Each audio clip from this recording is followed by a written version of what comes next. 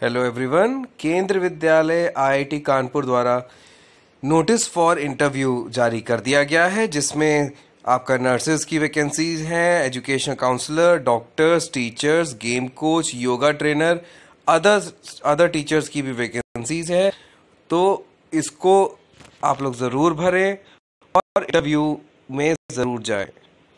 आगे बढ़ने से पहले आपसे निवेदन है कि आप मेरे वीडियो को पूरा देखें, फिर आप जो पर्टिकुलर जो इन्फॉर्मेशन आपको दी जा रही है, वो दूसरों के साथ शेयर करें। अगर अच्छी लगे, साथ ही मेरे चैनल को सब्सक्राइब करना ना भूलें।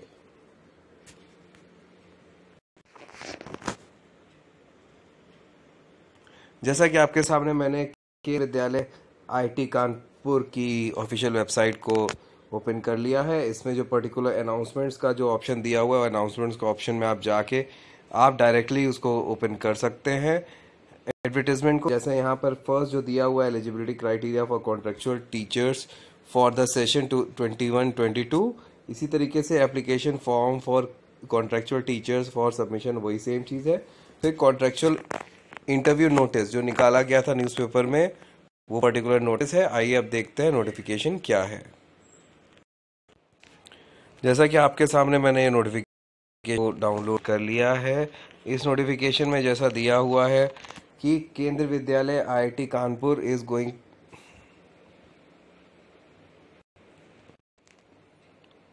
IIT Kanpur is going to conduct walk in interview walk in interview जो है, आपका पर्टिकुलर विद्यालय के प्रेमिसेस में ही होगा और इसका एक पर्टिकुलर तीन पैनल टेंटेटिव पैनल्स है वैकेंसीज के लिए। फिर on the basis of contractual होगा इंस्टेड एंड इंटरेस्टेड और एलिजिबल कैंडिडेट वहाँ पर आए और अपना पर्टिकुलर वहाँ पर उस डेट को आए और नौ बजे वहाँ पर उपस्थित हो।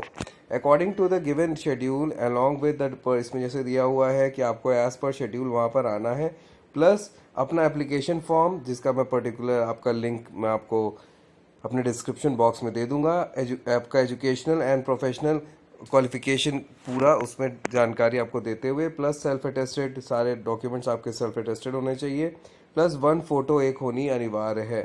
जैसा जैसा कि इसमें पहला दिया हुआ है, पहला जो डेट ऑफ़ इंटरव्यू जो दी हुई है इसमें, ये है आपकी 22 तारीख। 22 तारीख में जो दिया हुआ है, आपका टाइम ऑफ़ इंटरव्यू जो है आपका 10 बजे से है, लेकिन आपको कितने बजे पहुँचना है? 9 बजे पहुँचना है। इसे फ़र्स्ट फ़र्स्ट आपका बोर्ड इंटरव्यू बोर्ड जो है, तीन रखे गए हैं, हर एक उसके लिए, हर एक डे के लिए। आपका बाईस को जैसे प्राइमरी टीचर का है PGT computer and computer instructor का है, फिर PGT in economics commerce and social science का है। इसी तरीके से आपका ट्वेंटी ट्वेंटी थर्ड को एक इंटरव्यू है, जो वो भी दस दस बजे से उसके भी तीन पैनल हैं। इसमें arts games coach yoga trainer educational counsellor यही हमारे पर्टिकुलर एक हमारे नर्सिंग नर्सिंग वाल के लिए काम का है। इसमें आपको जो मांगा गया है नर्स मांगी गई है जनरल टीचर्स मांगे गए हैं काउंसलर एजुकेशन काउंसलर और डॉक्टर मांगा गया है।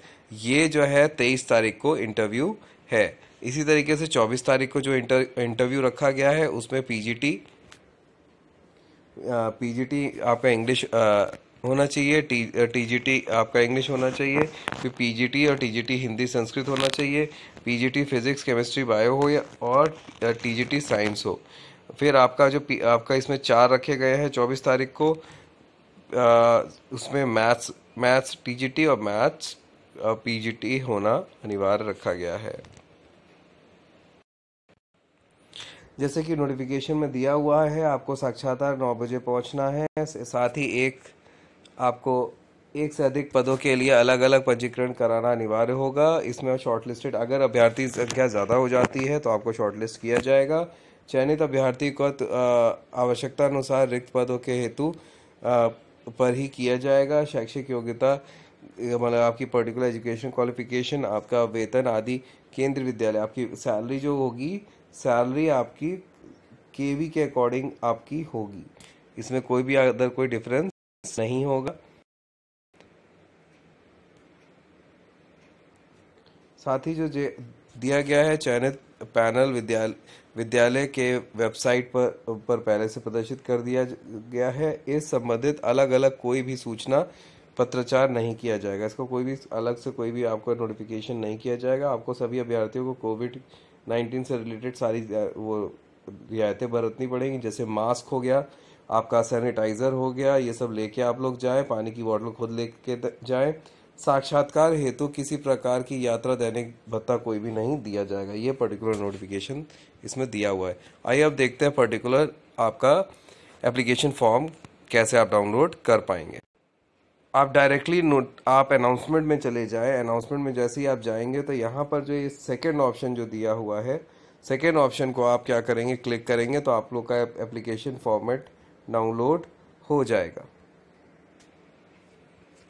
जैसा कि आपके सामने मैंने एप्लीकेशन फॉर्मेट डाउनलोड कर लिया है एप्लीकेशन फॉर्मेट को डाउनलोड करने के बाद आपका एक पर्टिकुलर फॉर्मेट को आप ध्यान से पढ़ें। फिर आपका एंटायर जो फॉर्म फिल करना है वो कैपिटल कैपिटल और कैपिटल फॉर्म में करना है और इंग्लिश में ही भरना है। कोई अदर लैंग्वेज में नहीं भरा जाएगा। जैसे पोस्ट किस पोस्ट के लिए अप्लाई करना है सब्जेक्ट अप्लाइड फॉर ये सारी चीज़ों की जानकारी आप इसमें आप दे सकते हैं।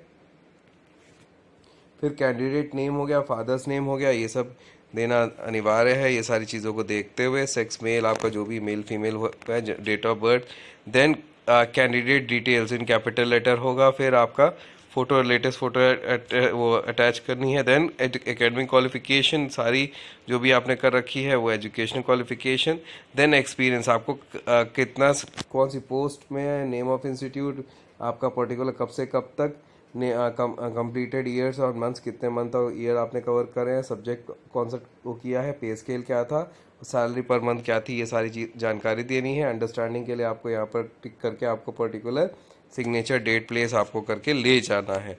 ये फॉर्मेट को फिल करते हुए साथ में आपको पर्टिकुलर डॉक्यूमेंट्स भी ले जाना अनिवार्य है।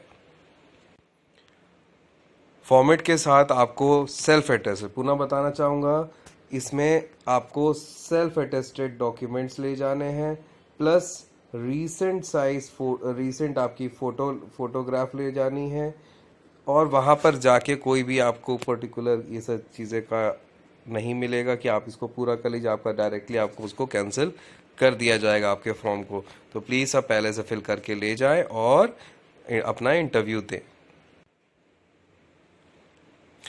केंद्र विद्यालय द्वारा पर्टिकुलर ये एलिजिबिलिटी क्राइटेरिया दिया हुआ है, जैसे जिसमें पर्टिकुलर जो जो पोस्ट है, उसका एलिजिबिलिटी क्राइटेरिया है। एजुकेशन क्वालिफिकेशन पीजीटी का अगर है तो हिंदी, संस्कृत, हिंदी और वो सब संस्कृत का दिया हुआ है। पीजीटी इंग्लिश का होना चाहिए। सारी की सारी आपकी पर्टिकुलर क्वालिफिकेशन दी हुई है।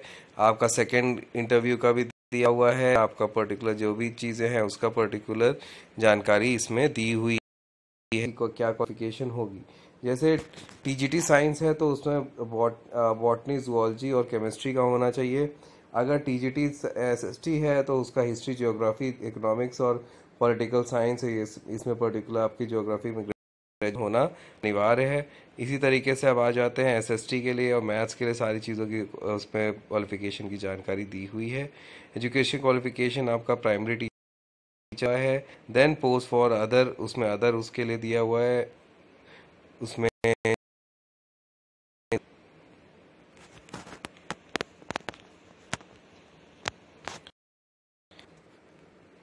दिया हुआ योगा योगा के लिए graduation in any subject equivalent for recognise university आपका इसमें होना चाहिए और योगा की ट्रेनिंग ट्रेनिंग उस, उसकी पर्टिकुलर उसका सर्टिफिकेट होना अनिवार्य है।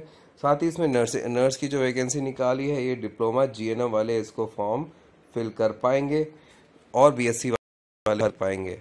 और इसमें पर्टिकुलर जो है वो रजिस्टर्ड रजिस्टर्ड होना चाहिए। किसी भी काउंसिल से ऐसा कोई नहीं है कि यूपी रजिस्ट्रेशन काउंसिल होना चाहिए। इसी प्रकार आपका आ, जो एकेडमिक काउंसलर है इसमें एसेंशियल जो रखा गया है BA BSc PSC psychology from the recognise college और यूनिवर्सिटी से होना चाहिए जिसमें आपका 50 परसेंट मार्क्स होने अनिवार्य हैं। प्लस आपका जो registration council rehabilitation council of India से आपको रजिस्ट्रेशन होना चाहिए वोकेशनल काउंसलिंग की होनी चाहिए। इसी प्रकार का एक डॉक्टर का इसमें निकला हुआ एमबीबीएस और रजिस्टर्ड विद एमसीआई होना अनिवार्य है। आपको मेरा वीडियो कैसा लगा, मेरे वीडियो को ज़रूर लाइक करें। साथ ही पर्टिकुलर आप इस वीडियो को शेयर भी कर सकते हैं।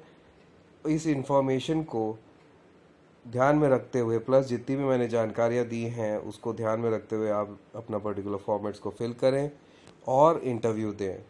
साथ ही मेरे चैनल को ज़रूर सब्सक्राइब करें और बेल आइकन दबाना ना भूलें। धन्यवाद। मिलते हैं अगले वीडियो में, अगली जानकारी में।